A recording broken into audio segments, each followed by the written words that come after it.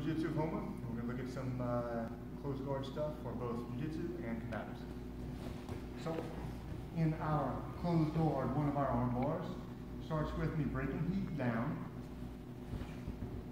foot to the hip, so I can start moving my hips into his armpit, where it's closer to the arm bar.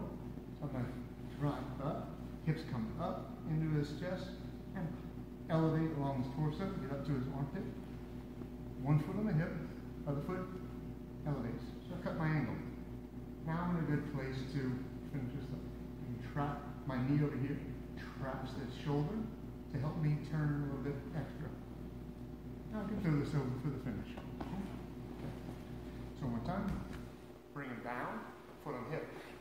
Angle incline, catch the shoulder, twist, and finish. Now, once we start striking, I want to do the same thing, but this time it's not to finish him necessarily.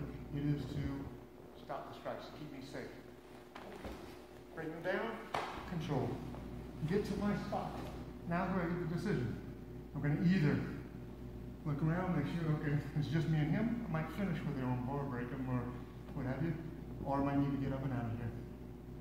Now I'm in a spot where he cannot, go ahead, strike, strike, do some damage. He can't headbutt me, knock him down. My hips are elevated, now I'm ready.